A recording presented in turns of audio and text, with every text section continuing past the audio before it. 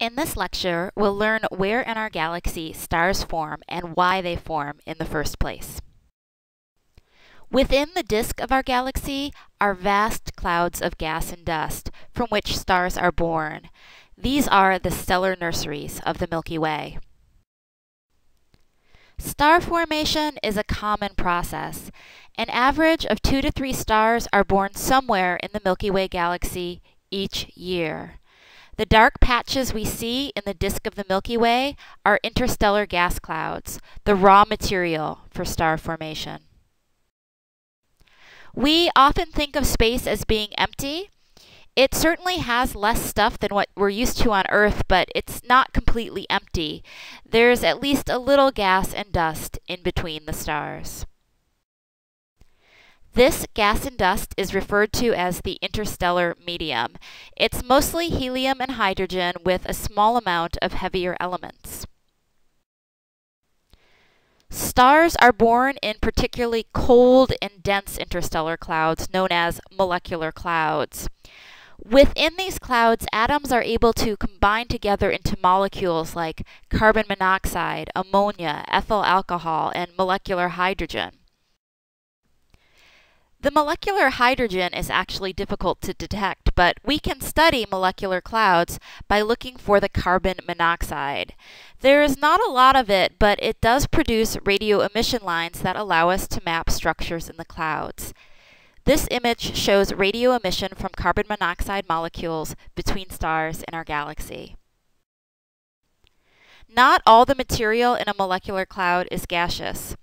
About 1% of the molecular cloud's mass is made up of tiny solid grains of interstellar dust.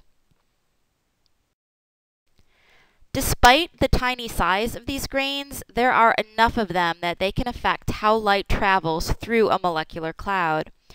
The dust grains either scatter or absorb the visible light that enters a cloud, preventing us from seeing any stars that lie behind it. Also, the edges of a molecular cloud look more red because dust blocks shorter wavelength blue light more effectively than longer wavelength red light.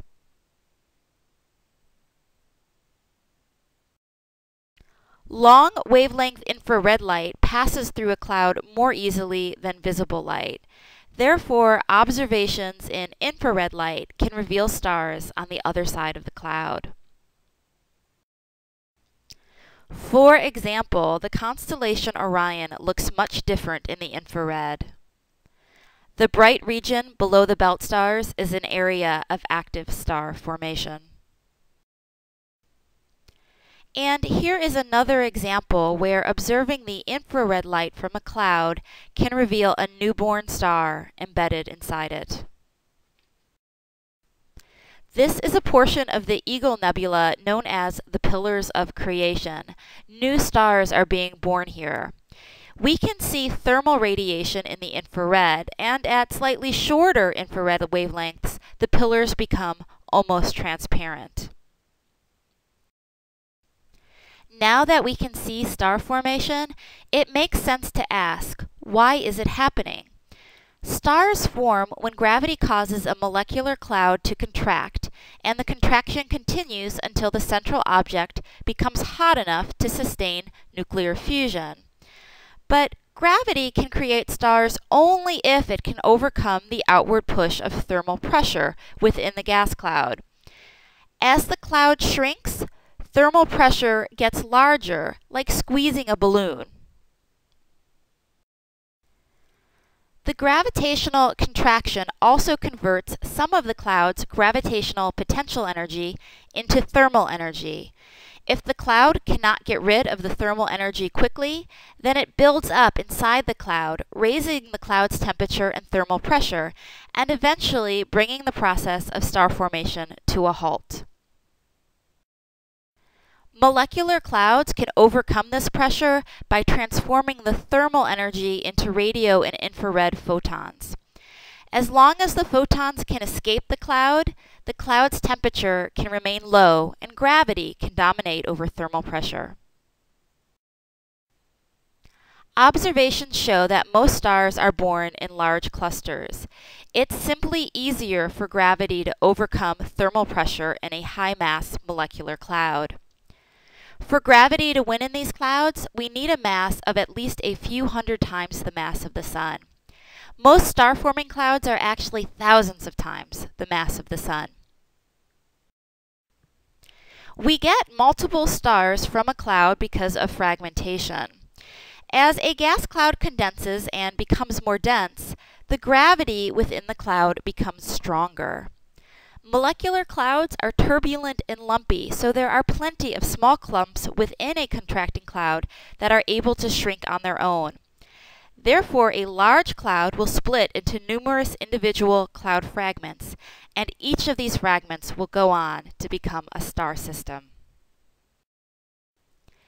Gravity can overcome pressure in a relatively small cloud if the cloud is unusually dense. Even a cloud with just a few solar masses of material can form a single star, as long as the cloud is sufficiently dense and cool. If we go far enough back in time, the composition of interstellar gas must have been different because virtually all elements heavier than helium have been produced inside of stars. The very oldest stars in our galaxy don't have many elements heavier than helium because this first generation of stars was born before the heavy elements had been made. The first stars formed from clouds of gas containing only hydrogen and helium from the Big Bang. It would have been harder for these clouds to radiate away thermal energy, so the clouds were warmer and more massive than the star-forming clouds we see now. The massive clouds would have created massive stars that already used up their fuel and died off. That's it for now. Enjoy the rest of your day or your night. I will talk to you again soon.